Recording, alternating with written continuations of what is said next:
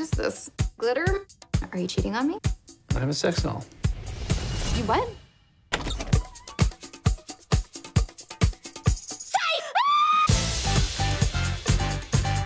I'm having like a nervous breakdown.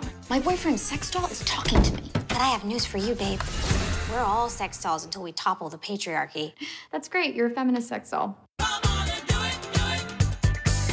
I think she represents a part of you that wants to heal you. Embrace her.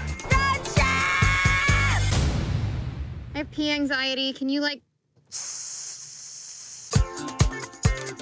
Who is that? He's like 14. So, I'm seven. A fun-loving sex doll and our human friend taking on the world together. I mean, that would make an amazing story feministy feminists that were ever feminists.